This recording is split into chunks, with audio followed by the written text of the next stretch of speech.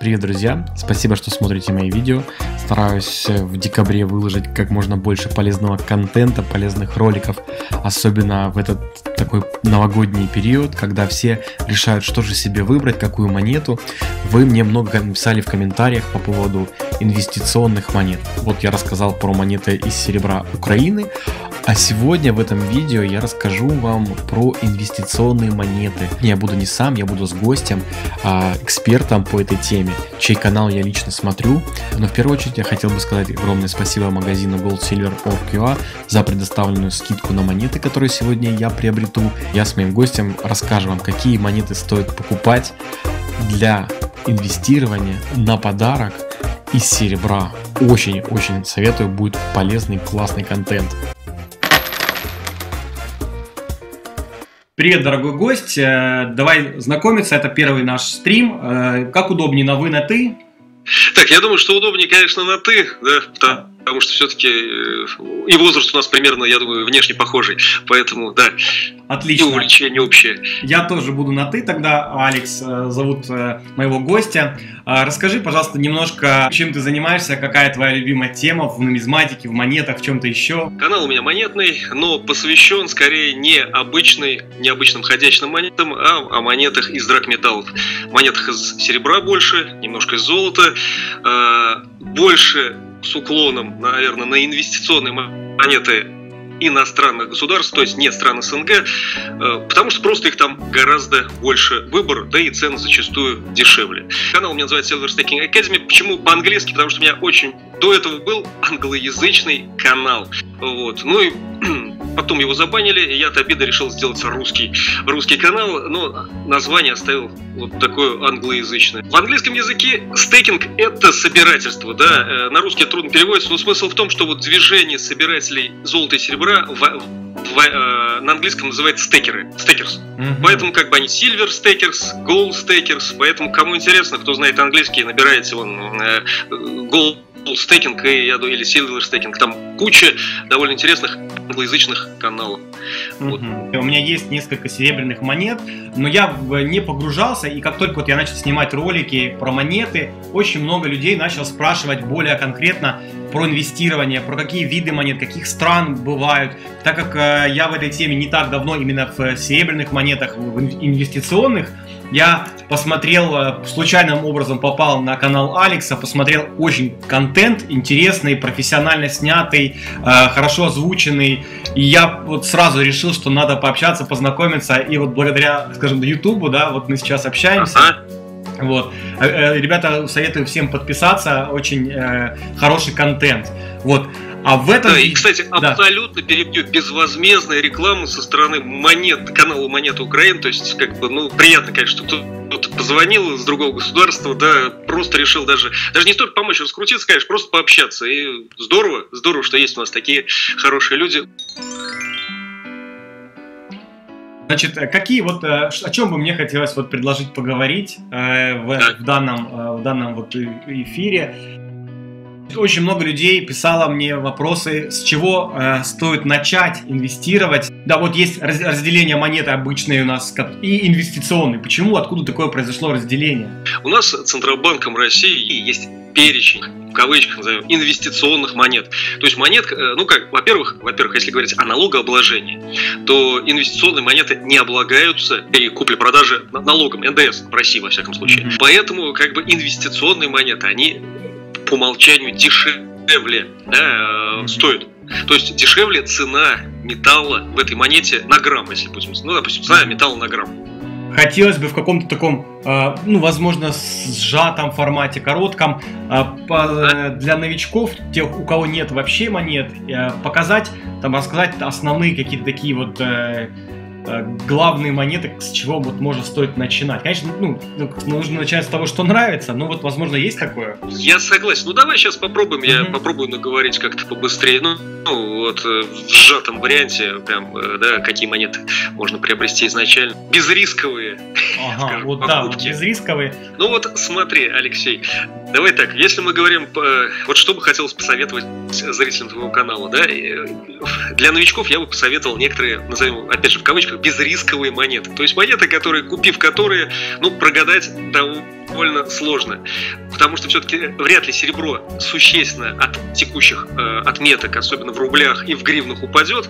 Ну, а эти монеты, вот которые я назову, выпускаются ограни- ограниченным тиражом, это раз.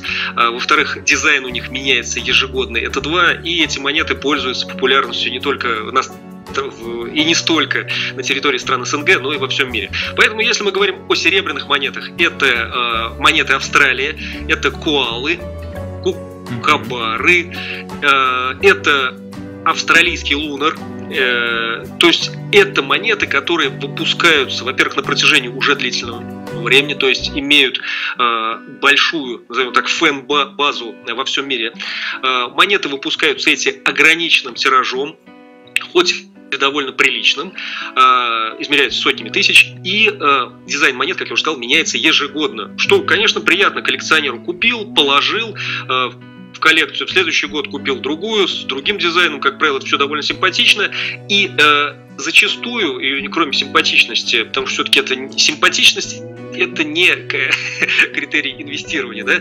А, просто люди, вот сегодня, к примеру, вы начали копить в этом году монеты, как говорится, появляются новые коллекционеры, новые э, рождаются люди. Через лет пять э, кто-то начнет копить те же самые, да, куалы, кукабары э, или панды. Ему захочется в свою коллекцию купить монеты прошлых лет. И вот монеты прошлых лет, как правило, из этих серий, они стоят дороже, чем монеты текущих годов. То есть, не сказать, не все всегда намного, а иногда, кстати, намного, и там, может быть, это и в 5 раз больше. Поэтому, поэтому э, еще раз говорю, без, это безрисковый, беспроигрышный вариант покупки монет серий, э, популярных серий, в которых э, дизайн меняется ежегодно. В английском это называется semi numismatics, в русском, ну, можно перевести как полунумизматический монет. То есть монета, имеющая, э, во-первых, какую-то, ну, нумизматическую, опять же, все это возьмем крайне в кавычки, ценность. Вот. Хотя, если говорить по-английски, то все-таки нумизматика это вообще собирание нет. Но мне кажется, у нас больше на наших, что в России, что в Украине, все-таки ну, к нумизматике относят какие-то старинные, редкие э, монеты, а не текущую, да, текущий монет, который выпускается в настоящее время. Но это, на мой взгляд, сугубо. Все это довольно это. Все это игра терминов. Для себя, если я хочу выбрать, например, монету, хотя бы иметь да. одну для того, чтобы показать ее зрителям э, в эфире, э, какую одну монету, вот, ну, панды, да, возможно, ты у нее посоветуешь купить? Да, э, ну, вот смотри, да, купить панду, конечно, панда нравится всем, а ему даже моей жене нравится. Она вот из всех монет только панда ей нравится, поэтому это уже говорит о популярности монет, хотя жена у меня крайне так это равнодушно относится к серебряным монетам, менее равнодушно к золотым, вот, но панда ей нравится, панда ей нравится. А вот, э, коалы симпатичные монетки, вот если так вот говорить еще раз. Ну, вот с коалой точно не прогадаешь, ой, коалы, с пандой точно не прогадаешь, э, панды копят китайцы, для них и 8 миллионов, раньше вот был тираж 1 миллион, потом подняли до 6, вот не соврать, сейчас он то ли 9, то ли 8 миллионов, просто могу ошибиться, но в любом случае не больше с этого года. Поэтому, поэтому э, китайцев очень много, все очень много там остается у них этих монет на местном рынке. Вот китайцы, кстати, очень любят серебро, и очень также любят золото. И, как ни странно, они очень сильно любят изделия, особенно ювелирные, из платины. То есть вот рынок с платины, платины в, ювелире, в ювелирке э, – это Китай. А янтарь? Вот, поэтому... Они не любят янтарь? А? Янтарь. Янтарные украшения. Послушай, а вот янтарь я не знаю, насколько популярен э, в Китае. Вот, кстати, интересный вопрос. Что-то, мне кажется, может, они о нем и мало знают. Надо толкать, надо толкать, особенно в Украине, у вас же там месторождения найдены. Вот. Поэтому, ну, не знаю, не знаю, что, насколько они любят. Вот. Угу, понял. Может, просто не знают. Ага. Хорошо, э, я услышал, по монетам посмотрю, буду выбирать себе что-то такое, вот, чтобы показать зрителям. Возможно, уже в этом выпуске я какую-нибудь монету себе закажу. Что бы хотелось добавить к тому разговору, который у нас вот был? Алексей, ну смотри, насчет панды я тебе посоветовал, да, беспроигрышный вариант. Поэтому можно ее смело купить. Из самых простых инвестиционных монет можно купить американский золотой, американский серебряный орел. Угу. Вот. Можно купить, если мы говорим про подписчиков э, в Украине, это архистрадик. Я думаю, тоже будет, если по нормальной цене удастся купить вот перечисленные монеты, э, покупайте. Э, в любом случае дешеветь в наших валютах они вряд ли будут. Скорее всего, вырастут. Прежде, единственный момент, да, прежде чем инвестировать, что в золото, что в серебро, что в биткоин, хотя я не советую, вот лично я не советую инвестировать, но опять же, Дело каждого. Совет советами каждый делает, каждый делает, как считает нужным. Кто-то обогатился на биткоинах, да? Поэтому, прежде чем куда-то инвестировать, внимательно изучите эту тематику.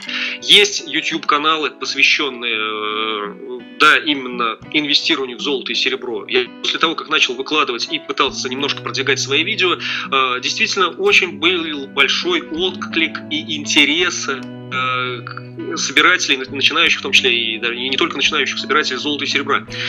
Тема действительно сохранения своего, своих сбережений, она в наших странах популярна. Э, понятно, по каким причинам. Э, поэтому, поэтому, получая отклики, я стал стараться размещать видео на какие-то, на темы, которые интересны максимальному количеству людей, да, интересующихся этой темой. Какие инвестиционные монеты покупать, покупать золотые или серебряные монеты, где покупать монеты. Вот, э, это я, я даже создал такой, э, создал такой плейлист на канале Библия инвесторов золото и серебро. А Вот. Ну, кроме того, например, понятно, что вот лично и мне интересно, да, и зрителям канала да, интересно э, смотреть о каких-то новых новинках, выходящих в монетном мире, о популярных сериях инвестиционных монет. А, и я тоже стараюсь как-то интересно рассказывать про э, какие-то новинки, да или просто про те серии, которые уже выходят, допустим, несколько десятилетий, и которые давно уже заслужили популярность во всем мире. Напоследок, может, что-то пожелать, так вот буквально в двух словах э, всем, кто посмотрел этот ролик? Э, вложение, что в золото, что в серебро, на мой взгляд, вещь крайне перспективная. Э, понятно, что людей, которые, ну, единственное, что я имею в виду перспективность с точки зрения возможного дальнейшего роста цены э, в долларах. В рублях, в гривнах я уверен на 99%, что оба этих металла и, соответственно, монеты из него, а, они в цене будут однозначно расти. В долларах тоже вероятность большая, что вырастут. Э, прежде чем вкладываться в эти металлы, опять же, внимательно изучите вопрос. Раз. Во-вторых, имейте в виду, уважаемые зрители, что вкладывать в золото и серебро, это все-таки инвестиции на долгий срок.